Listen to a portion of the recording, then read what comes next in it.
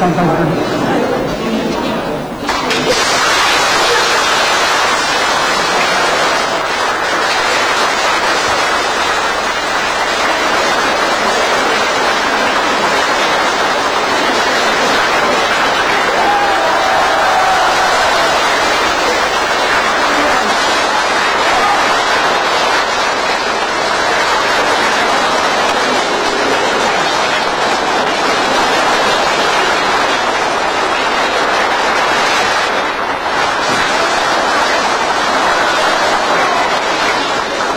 上。看过的什么人？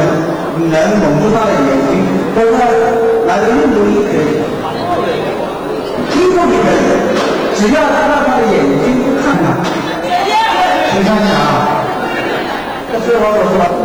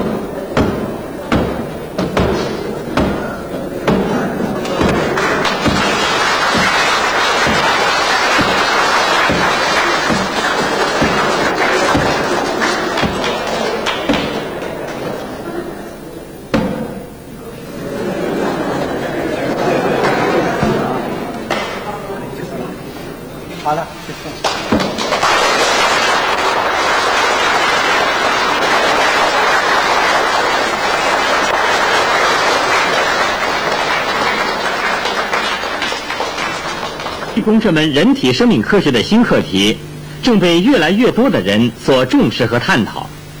人们对它的态度也各不相同。有人说他气道病除，有些杂志上登载气功能呼风唤雨。恰逢中国著名气功师、上海交大人体肠研究组的阙巧根来长沙讲学，记者特意赶到银盆岭童子坡军队干休所，就观众关心的几个问题采访了他。如果你人要这个能够呼风唤雨的话，我们认为是比较这个啊还有待探讨的这个问题。比如说这个，他们很多报告说这个发工以后是大兴安岭下雨。嗯。啊，实际上实际上是我们认为是，当这大兴安岭下雨以后啊，啊着火以后啊，很会产生很多的热能。嗯。这样的话，热能聚集到一定能量的时候，热要比冷空气来的这个轻上升。如果这个冷空稍微在上面有一点冷空气下来的话，它一般的到一定的时候就会下雨。大兴安岭总是要下雨的。如果说某一个人要发挥这个能够呼风唤雨的话，这个就是生态平衡实际上是要要失去平衡的。嗯。对我们这个这个人类实际上是不会什么什么，所以生态失去平衡的，所以我们认为是。一般的还是比较不有味的，嗯，就不可能这个达到呼风唤雨。那么还有还有的人讲这个气功吧，在就是异地收工啊，比如说长沙发功，在北京收工，在北京可以接收你发的这个气，这千里之遥，有这么远的距离可以受益的话，谈谈这个问题了，它能不能达到这个这么远的距离？啊，从我们这个大量的实验观察发现，嗯，就人体外气的能量啊，外气这个这个能量啊，随着距离的平方成反比，嗯，就距离越远的话，我的这种能量就越弱，嗯，如果要从大西啊这个长沙发功到北京的话，一般的情况下好像是比较困难，嗯，但是不能排除某些心理暗示的作用，比如说你在这个北京，我什么时候给你这个。定时间的话，你到时候入境放松以后，也会产生同样的效果。实际我不发挥，他也会。